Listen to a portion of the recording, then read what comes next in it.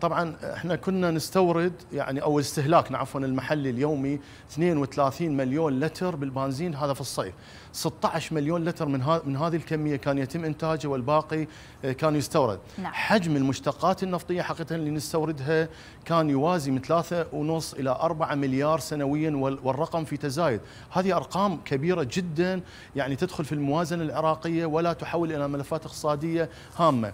اليوم بعد افتتاح طبعا آه، قبل فترة بعد افتتاح مصفى بيجي مصفى كربلاء واليوم إضافة وحدة رابعة حقيقة لمصفى البصرة وإضافة وحدة أزمرة اللي هو تحسين البنزين المحسن.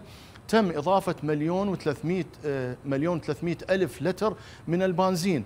الآن مجمل ما آه، يعني ما موجود بالعراق آه، قد تعدى أكثر من 24 مليون لتر من البنزين وهو في طريقة إلى الاكتفاء الذاتي من هذه من هذا المنتج مع نهاية السنة. نعم. مثل ما هو يعني خلص الآن زيت الغاز الآن والنفط الأبيض الآن قد وصل إلى اكتفاء الذاتي. بعد هذه المرحلة حقيقة سوف يبدأ العراق بتصدير هذه المنتجات.